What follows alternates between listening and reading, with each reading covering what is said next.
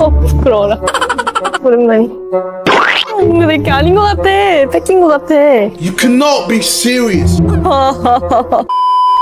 지난주에 깜짝 놀랐던 사건이 있었는데 제가 알고리즘 그냥 유튜브 이렇게 내리다가 은채 스타일기가 나온 거예요.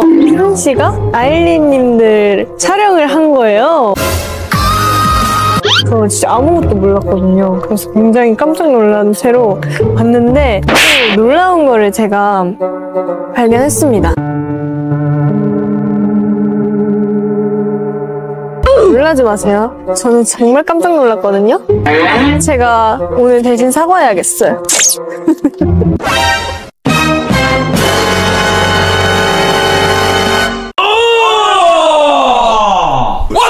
이 그림이 보셨나요? 이거 이거 이거?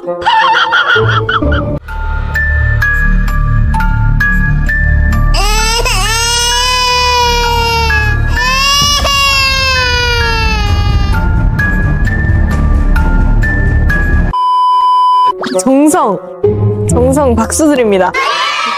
그렇지만 진짜 깜짝 놀랐어요. 눈동자를 왜 이렇게 그렸을까?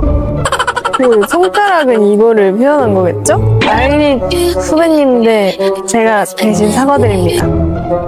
미안해요. 이거는 제가 대신 사과드립니다.